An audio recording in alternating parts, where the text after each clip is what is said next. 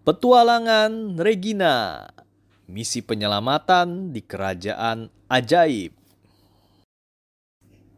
Pada suatu hari di desa kecil, Regina seorang gadis berusia 8 tahun sedang merasa gelisah.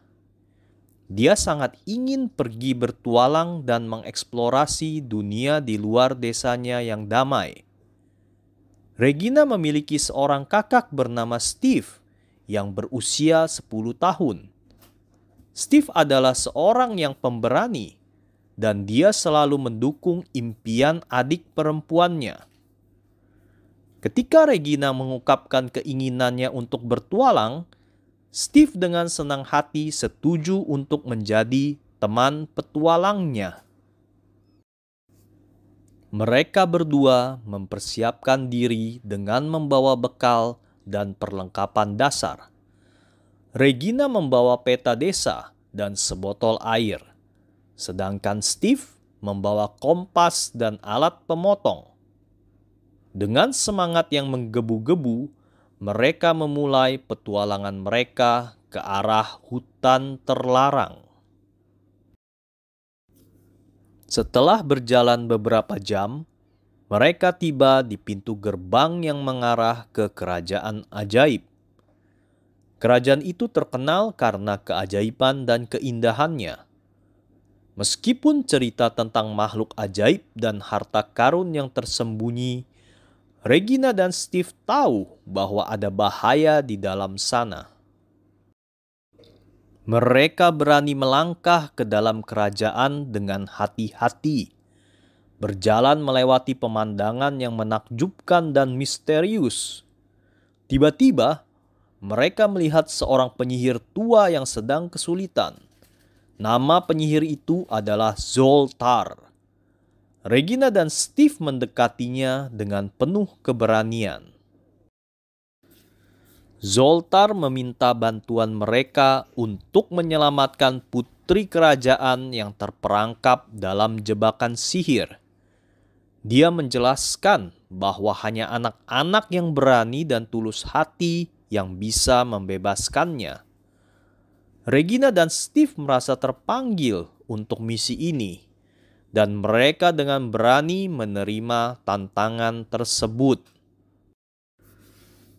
Mereka mengikuti petunjuk Zoltar ke dalam gua yang gelap dan berliku-liku. Di dalam gua, mereka harus menghadapi rintangan dan teka-teki yang rumit.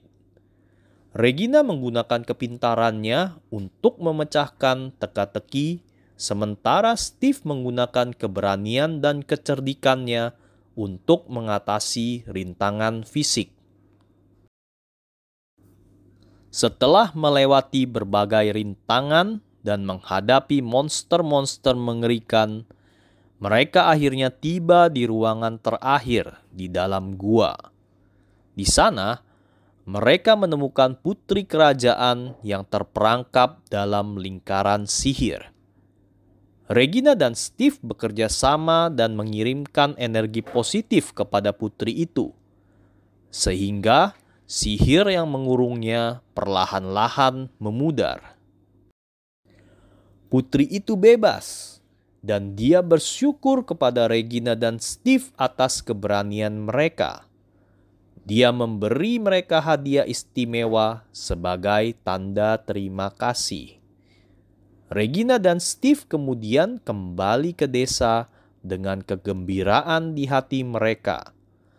Mereka telah berhasil dalam petualangan mereka dan menjadi pahlawan di mata penduduk desa.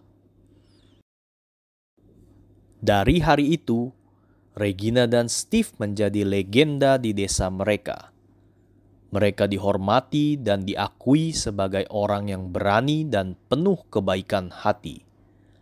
Petualangan mereka mengajarkan tentang pentingnya keberanian, kecerdikan, dan persahabatan. Regina dan Steve menyadari bahwa bersama-sama mereka dapat mengatasi segala rintangan dan melakukan hal-hal yang tak terbayangkan. Dan mereka tahu bahwa petualangan mereka baru saja dimulai.